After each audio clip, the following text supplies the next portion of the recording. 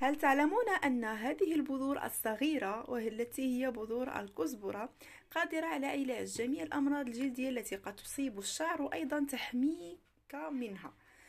أيضا تحميك من تساقط الشعر وتعزز قوته وكثافته ونعومته وتحتوي على زيوت طيارة آه، صالحة جدا لتهدئة فروة الرأس وزيادة نعومة الشعر وعلاج العديد من مشاكل الشعر.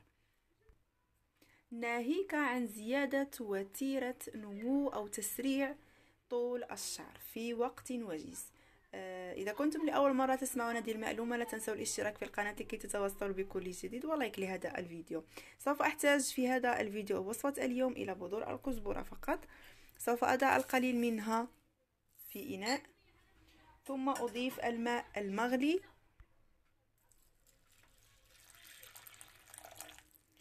والآن سوف أتركها حتى تنقع تماما وجيدا. طبعا سوف أقوم بتغطيتها لكي أحافظ على الزيوت الطيارة التي بها.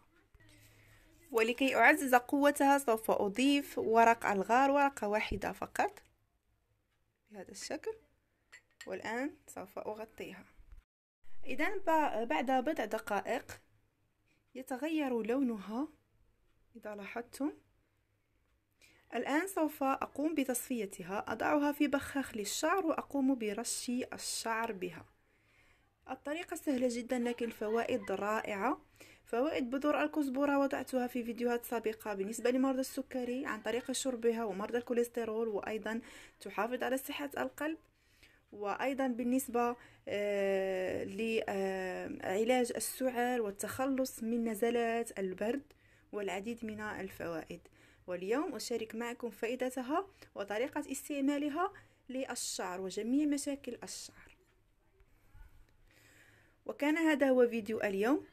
إلى اللقاء.